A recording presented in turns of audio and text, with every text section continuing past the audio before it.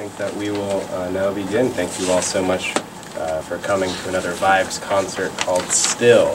Uh, we purposefully uh, left the theme very open, and I think we got a really wide variety of pieces today. So thank you all so much for the composers that are here that submitted their work. Uh, our first piece is called Dark Spots of Lightning by Xiaogang Xiang, who um, it is about uh, sort of the phenomena of lightning and witnessing it and thinking about what it, uh, the energy that it spreads in our universe. It's been created using 20 synthesizers and no acoustic instruments.